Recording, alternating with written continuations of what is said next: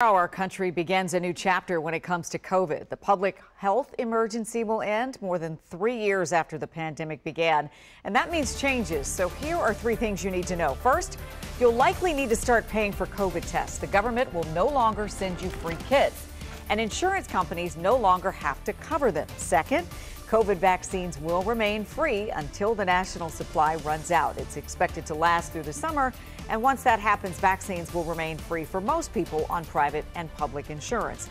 Third, federal employees and contractors will no longer be required to be vaccinated for COVID.